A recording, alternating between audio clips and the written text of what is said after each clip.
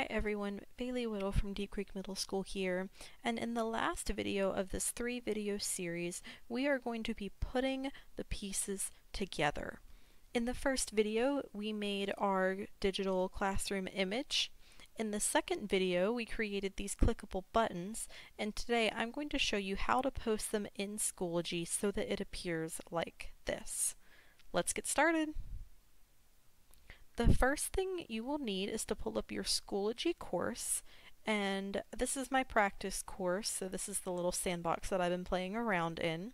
The second thing you'll need to pull up is the Google Docs we made in the second video that contains our table of clickable banner buttons. Let's go back over to Schoology. I'm going to make sure I'm on my materials page and I'm going to scroll down to the bottom to where it says add materials and then I want to click on Add Page.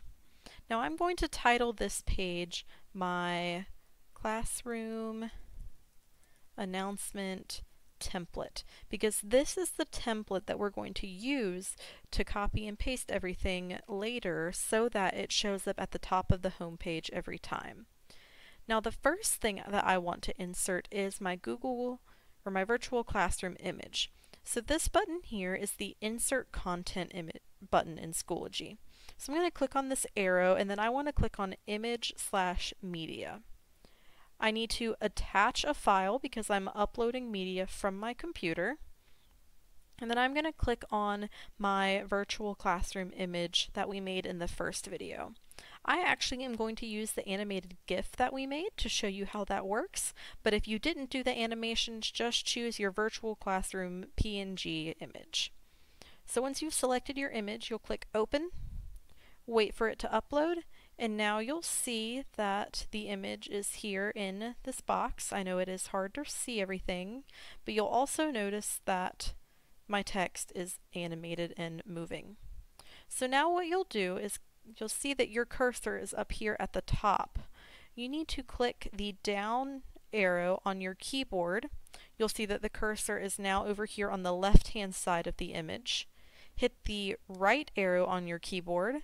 Your cursor is on the right hand side and then the enter key. So now we are able to type underneath our image. If you want to include a short message that explains the buttons that we're about to insert, you can. Otherwise, hit the enter key again. My The example message that I would probably use is something like click the buttons below to navigate through my course. And then again, I want to click the enter button so that I am on a new line. Now what you'll need to do is go over here to your table of clickable buttons. You're going to select the whole thing and then hit Control C on your keyboard to copy. We're going to go back over here to Schoology, click on the new line that we've made and hit Control V to paste. And then you will see that our table of buttons has appeared. Now I'm going to go over here and I'm going to get rid of that extra line because I don't want a huge gap in between my tables. And then I am going to get rid of the gap at the top as well by hitting the delete key. And then I'm going to hit create. And what you'll see is we have a new page down here. And if we click on that page, this is an example of what your announcement will look like. So I'm going to go back to my main page and the first thing that I'm going to do with this, I'm going to come over, over here to my gear and I'm going to hit unpublish on that template page we just made. This now hides it from the student's view. So you can keep this in your Schoology materials folders or in your Schoology's material list without worrying about the students seeing it, you can edit it as you need by clicking on the page name, come up here to the gear and click edit. That way if you ever want to change what your example message says or maybe you need to update your buttons, you can. But this is what you will need to do first to get that announcement going.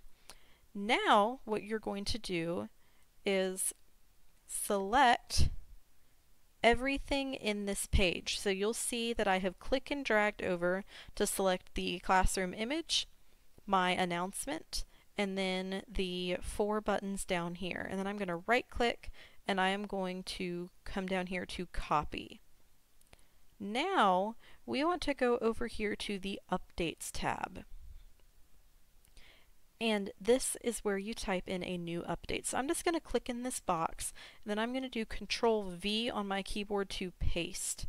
And you'll see, again, it's kind of hard to see without scrolling, that my update in here has been, or that my template has been pasted into this box. The next thing you'll want to do is click on this little plus sign in a speech bubble and you want to check the bell to make it an announcement. Then you click post. And now you'll see that my announcement is at the top of every page in Schoology.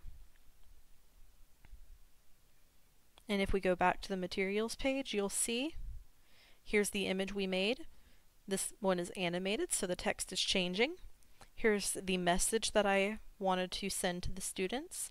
And then if I click on this button, it takes me to the first quarter folder. Now, a word of caution. If you have four separate courses for the four different classes you teach, you will need to remake your table in Google Docs for every single class. The reason being is that this link to the first quarter folder is only the first quarter folder in this course. If I had a Bell 2 course, then this link would change and I would need to make a new table and then use that table in my Bell 2 section. So that is the one downside to this method is that the links do change for every single course that you're in, but otherwise you can reuse your digital image your digital classroom image and any message that you want to send to your students down here. Now if you ever want to make a change to your announcement, I recommend changing it in your template first. Again, you do that by clicking on the template page, the gear, and then edit page. And now I can make a change here. Once you do, you click Save Changes, and then same thing, you'll just have to select all on the page, right click and copy, updates, post a new update, and then you would control V to paste everything in, and then check the bell. This bell is the important part that makes it reappear at the top of your page. Now if you ever want to get rid of this for whatever reason, if you don't want to use the clickable buttons anymore and you just want to get rid of the whole thing, click on that little X that says remove and then you'll notice if we go back to my materials page that the virtual classroom image has disappeared. But if I want to add it again, I can just go back to my template down here, copy it, go back to updates and paste it back in. So I'm going to do this with my original template that I made, and you will notice I've changed what my buttons look like as well. But same thing, select it all, right click, copy, go to updates, post a new one, check the bell, and hit post, and here it is at the top of my page. With that, you have successfully made a virtual classroom, clickable buttons, and posted everything in Schoology. Thank you so much for watching this tutorial. I have enjoyed making it for you. I will see you in the next video.